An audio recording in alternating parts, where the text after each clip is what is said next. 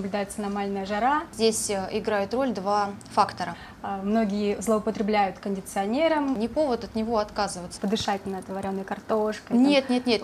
Здравствуйте, Юлия. Добрый день. 17 июля отмечается Международный день кондиционера. В некоторых источниках этот праздник называют как день рождения кондиционера. Ну, не- нам не важно вообще, как именуют этот день. Сегодня мы поговорим именно про виновника торжества, тем более эта тема сейчас актуальна.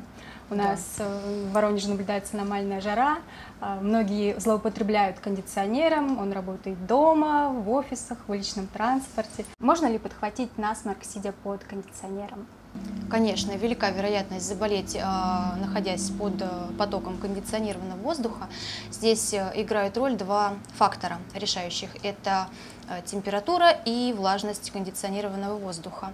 То есть э, снижение температуры резкое приводит к снижению местного иммунитета, да, подрывает э, собственные защитные силы организма, а низкая влажность э, кондиционированного воздуха, она подсушивает слизистую, снижается также защитное свойство мерцательного эпителия.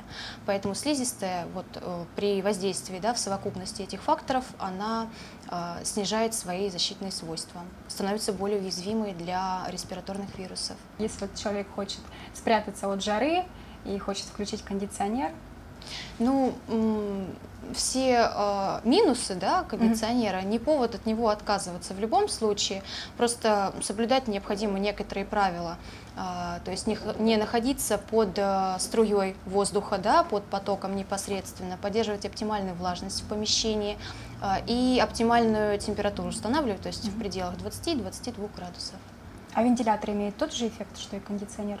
Нет, абсолютно нет. Вентилятор просто переносит э, сухой воздух, также теплый в помещении, то есть он не охлаждает. Любой ли источник холода может вызвать насморк? Ну, сам по себе холод, да, понижение температуры окружающей среды э, заболеваний не э, вызывает.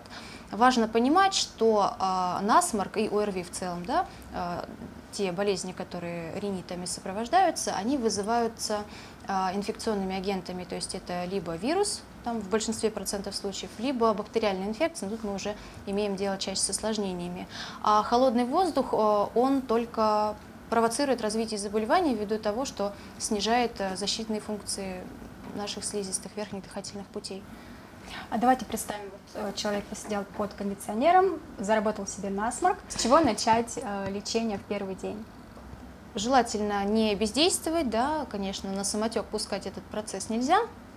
И до того, как вы обратитесь к врачу, желательно э, начать хотя бы с промывания гипертоническими растворами стерильными морской воды. А, в целом вся, э, все наши манипуляции, все меры будут направлены на снятие симптоматики, так как а, большинство э, респираторных острых заболеваний, они вызываются вирусами. То есть э, в целом нам нужно а, обеспечить покой организму, согревание и обильное теплое питье с целью уменьшения интоксикации. А капли в каком случае нужно, стоит начать употреблять? А, С каплями э, вопрос несколько сложнее стоит, потому что на российском фармрынке огромный перечень да, назальных средств представлен. Это и антибактериальные, и сосудосуживающие препараты, и гормональные, и комбинированные. И э, у каждого препарата есть свои как показания, так и противопоказания. И желательно, конечно, э, режим дозирования, курс лечения длительность курса подбирать с э, врачом с учетом возраста, сопутствующей патологии, э, наличия там, или отсутствия осложнений, да, с учетом стадии заболевания в конце концов. Промывание морскими растворами дает ли положительный эффект? Да, достаточно неплохой эффект. Э, В качестве вспомогательной терапии а, чаще всего при ОРВИ, которые сопровождаются насморком, а, отечностью полости носа, используются гипертонические растворы для промывания. Во-первых, они работают ну, по астматическому принципу, то есть они противоотечные действия оказывают. Это раз. А, Во-вторых, при промывании механически удаляется все патологическое отделяемое из носовых ходов, то есть гной, слизь, да, все, что у нас там есть. И э, сам по себе химический состав морской воды, он благоприятно воздействует на э, восстановление слизистой, минеральный состав воды. А как вообще медики относятся к таким вот бабушкиным методам, когда, знаете, там советуют, особенно пожилое поколение, советуют подышать над вареной картошкой, над луком, даже сок чеснока закапывать. Нет, нет, нет, никаких э, закапываний. Звездочкой мажет. Никаких закапываний э, лука, чеснока, меда, лимонного сока, растительного масла и все это в различных сочетаниях. Дышание над картошкой нельзя, потому что кроме осложнений ничего это не вызовет. Должного эффекта это не возымеет само собой. Вот, э, тут главное хоть бы осложнений не подхватить. А Как понять, что насморк затянулся и следует обратиться к врачу?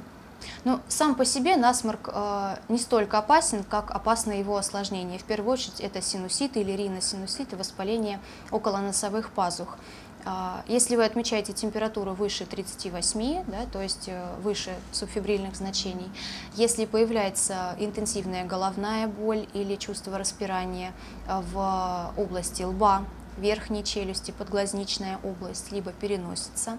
А, Если в течение пресловутых 7 дней, за которые насморк, как нам обещают, да, пройдет, 7-10 дней, наблюдаем за собой, если состояние а, значительно не улучшается субъективно или а, симптоматика только нарастает, то, конечно, это повод посетить специалиста.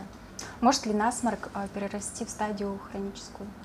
Может перерасти. Здесь в первую очередь э, играют э, роль анатомические особенности дыхательных путей. Чаще всего это главный такой предрасполагающий фактор к хронизации процесса. Ну и длительный не- нелеченный процесс, да, вот, тоже может к хронизации привести.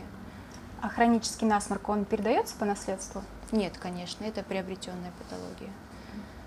Какие современные методы лор-диагностики появились за последнее время? Но в данный момент э, диагностический, спектр диагностических мероприятий довольно-таки обширен, да, то есть помимо стандартного инструментального осмотра мы используем э, лучевые методы диагностики по показаниям. Это рентген, компьютерная томография, да, как более э, информативный, более точный метод, ультразвуковое исследование при наличии противопоказаний к методам лучевой терапии, ну и, конечно, золотым стандартом является эндоскопическое исследование. А, Мы используем как жесткие эндоскопы, так и гибкие эндоскопы или фиброскопы, как называются. Последние а, комфортные при проведении исследований даже для самых маленьких пациентов, для деток, ввиду того, что а, сам по себе эндоскоп да, представляет собой тоненькую трубочку, она гибкая, достаточно мягкая и никаких неприятных ощущений при прохождении носовых ходов, носоглотки, вплоть до преддверия гортани не вызывает. То есть это безболезненная процедура? Абсолютно. Длительной подготовки никакой не требуется особой, а информативность достаточно высока. То есть мы в высоком разреше- разрешении можем увидеть э, анатомические особенности строения да, органов и э, интенсивность воспалительного, да, патологического там процесса. С какими жалобами чаще всего воронежцы обращаются к лор-специалисту в летний сезон?